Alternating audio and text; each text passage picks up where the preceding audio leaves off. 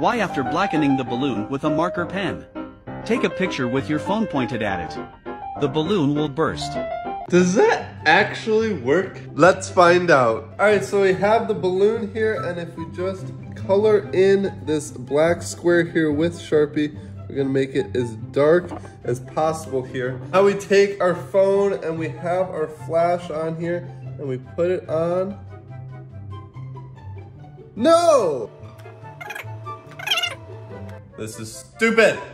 It doesn't work, it's fake.